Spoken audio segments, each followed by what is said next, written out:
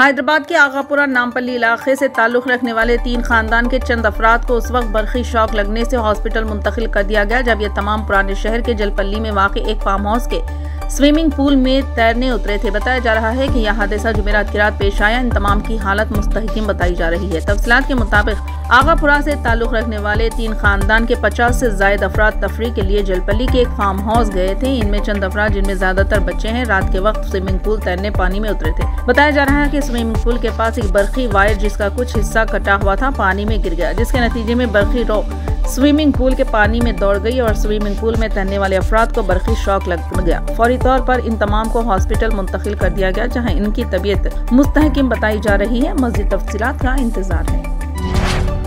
हैदराबाद के पुराने शहर में एक जालिम बाप ने 18 दिन की लड़की को फरोख्त कर दिया। तहम पुलिस ने लड़की की माँ की शिकायत पर 24 घंटे के अंदर फरोख्त शुदा लड़की को बरामद कर लिया और इस सिलसिले में तीन अफराद बशमूल खातून को गिरफ़्तार कर लिया। तफसीत के मुताबिक हैदराबाद के बल्लागुड़ा से ताल्लुक रखने वाला आसिफ नामी शख्स ने अपनी 18 दिन की नौमोलूद को एक लाख रुपए में फरोख्त कर दिया। नौमोलूद की फरोख्त करने की इतला मिलने के बाद इसकी माँ ने पुलिस स्टेशन पहुंचकर शोहर के खिलाफ शिकायत दर्ज कराई, जिस पर पुलिस ने फौरी हरकत में आते हुए नौमोलूद का पता चलाने, खसूसी टीम तश्कील दी और 24 घंटे के अंदर नौमोलूद लड़की को बरामद कर लिया और इसे फरोख्त करने के इल्ज़ाम में नौमोलूद के बाप आसिफ और फरोख्त करने वाली दरमियानी खातून सुल्ताना के अलावा लड़की को खरीदने वाले को गिरफ़्तार कर लिया।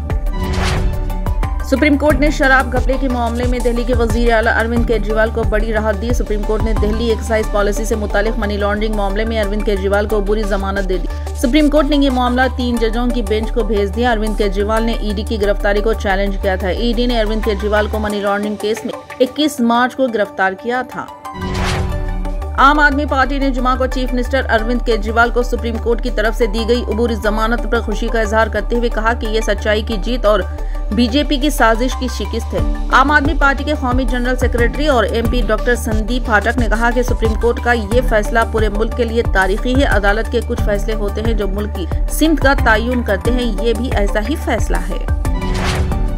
भारत राष्ट्रीय समिति बीआरएस को एक और धक्का लगा। राजेंद्र नगर के एमएलए टी प्रकाश गौड़ जुमा को यहाँ चीफ मिनिस्टर रेवंत रेड्डी की रिहायशगाह पर कांग्रेस में शामिल हो गए। वज़ीर अला ने पार्टी का खंडवा पेश करके पार्टी में उनका इस्तेमाल किया। इस मौके पर revenue minister P Srinivas Reddy और दिगर मौजूद थे। प्रकाश गौड़ के कांग्रेस में शामिल होने के साथ ही बीआरएस एमएलए की तादाद बढ़कर आठ हो गई है। प्रकाश गौड़ ने तिरुमला में श्री वेंकटेश्वर स्वामी मंदिर का दौरा करने के बाद कांग्रेस में शमूलियत इख्तियार कर ली। मंदिर में मीडिया वालों से खिताब करते हुए बीआरएस एमएलए ने कहा कि वो हल्के की तरक्की को यकीनी बनाने के लिए कांग्रेस में शामिल हो रहे हैं। तेलंगाना कानून साज असम्बली का बजट इजलास 24 जुलाई से शुरू होगा। 2023 में असम्बली इंतबात हुए, कांग्रेस पार्टी इकतदार में आई। इसके बाद सरमाई इजलास मुनद हुआ। बजट इजलास के इनका के सिलसिले में असम्बली स्पीकर प्रसाद कुमार ने असम्बली में जायज़ इजलास मुनद किया। इजलास में government whip chief secretary DGP और दीगर अफसरान ने शिरकत की। मरकजी हुकूमत इस माह की तेईस तारीख को कौमी बजट पेश करने जा रही है। डिप्टी चीफ मिनिस्टर और वज़ीर फाइनेंस भट्टी विक्रमार्का ने पहले ही कहा था कि रियासती बजट, मरकजी बजट के मुताबिक तैयार किया जाएगा। दरियसना अभी ये वाजे नहीं किया गया कि बजट इजलास कितने दिनों के लिए मुनद होगा। आइंदा पाँच दिनों के दौरान तेलंगाना के बाद अजला में अलग थलग मकाम पर मौसलाधार बारिश की पेशन गोई की गई है। मौसमियाती मरकज ने जुमा को यहाँ अपनी रोज़ाना की मौसम की रिपोर्ट में कहा कि इसी दौरान रियासत के कई अजला में अलग थलग मुकाम पर गरज चमक के साथ 30 से 40 किलोमीटर फ़ी घंटे की रफ्तार से तेज हवाएँ चलने का अंदाज़ा है। उसी के साथ ही आइंदा सात दिनों के दौरान तेलंगाना के कई इलाकों में हल्की से दरमियानी बारिश या गरज चमक के साथ बारिश के इम्कान हैं। कांग्रेस के सबक सदर और लोकसभा में कायदे हिजब इख्तलाफ राहुल गांधी ने जुमा को अपने हामियों पर ज़ोर दिया कि इंतबात में हमेशा जीत और हार होती है, इसलिए इंतबात में जीत या हार का इल्ज़ाम किसी पर भी नहीं लगाना चाहिए।